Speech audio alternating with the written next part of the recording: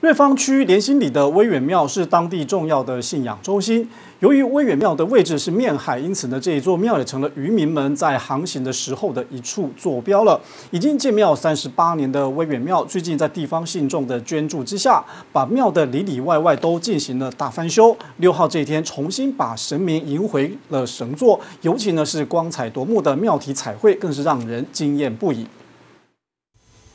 位在水南洞的威远庙，原址是在里乐炼铜厂一带，后来因为要新建炼铜厂，在地方人士辗转寻觅地点及高人指点之下，最后落脚在莲心里面对阴阳海的位置。威远庙多年来已经成为地方重要信仰中心，但因为面山靠海，庙体逐渐老旧，在地方信众资助下，威远庙在近日也重新彩绘壁画。没有有，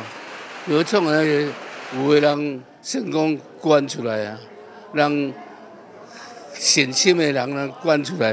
啊有三十万，两个三十五万，啊一个四十万，也有个十万、五万、三万、两万，拢安尼捐出来，大家捐出来的钱，你嘛所有从这个、这个、这个插这个安尼哦，七十万啊，啊个精力专安尼，拢拢总安尼毋知嫌外口个拢总爱到百万啊。安尼好啊，安怎讲好？啊好啊，咱咱咱啊大创创较新啊，老热保平，装个平安安尼就真好啊。今天将神明重新迎回庙里安坐，重新彩绘的壁画光彩夺目，还出现少见的大象雕饰。当地耆老表示，当时盖庙有风水师建议使用有巩固屋梁、香火鼎盛之意，非常具有巧思，也成为威远庙的一大特色。威远庙吼已经甲咱建庙已经三十八周年，今仔日拄你即个龙时节日吼，啊，即个咱人十二月初九吼，啊，都安坐吼，啊，啊咱也真荣幸就有邀请到议员啊、区长吼，啊，甲咱迄落迄个黄博馆的馆长甲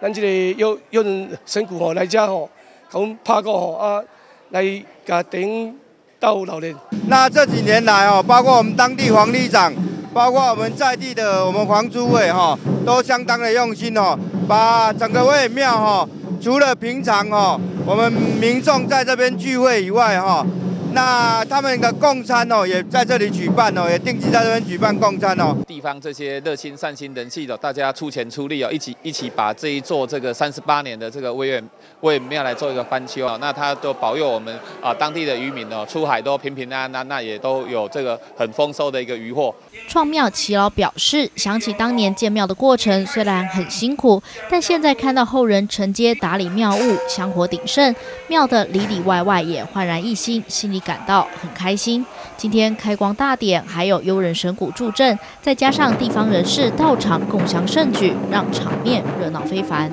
谢成威、瑞芳采访报道。